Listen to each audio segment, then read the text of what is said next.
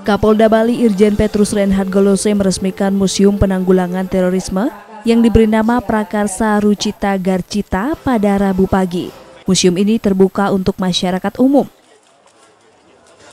Di dalam museum ini dipajang replika-replika rangkaian bom yang pernah terjadi di Indonesia.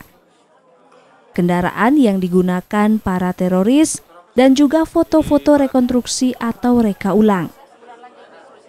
Selain untuk mengenang kejadian bom Bali yang terjadi pada tahun 2002, museum ini juga untuk mengingatkan kepada generasi muda, khususnya rakyat Indonesia terlebih lagi di Bali, bahwa teroris adalah musuh rakyat Indonesia.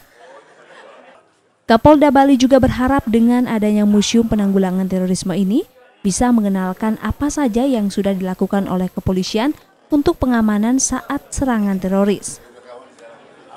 Karena apa? Dengan berbagai macam dalih mereka akan merubah dasar negara kita dan selama negara ini berdiri seluruh stakeholders, Polri, Tentara Nasional Indonesia, intelijen dan semuanya harus bersama-sama mengenang apa yang sudah dilakukan oleh para penegak hukum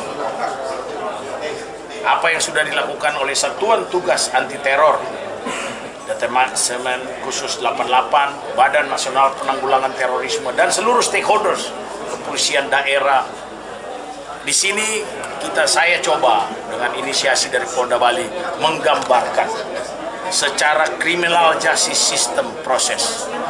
Bagaimana kita menghadapi teroris dengan mengingat museum. Banyak anggota Polri yang meninggal, ratusan yang cedera.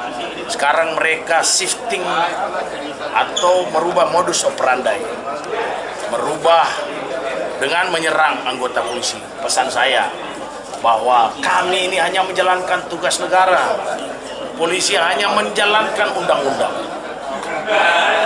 Rakyat yang kami lindungi dan sepatutnya dilindungi adalah bagian juga daripada negara kesatuan Republik ini. Peresmian Museum Penanggulangan Terorisme yang baru pertama ada di Indonesia ini juga mendapatkan apresiasi dari berbagai pihak. Anggarisa, Kompas Dewata.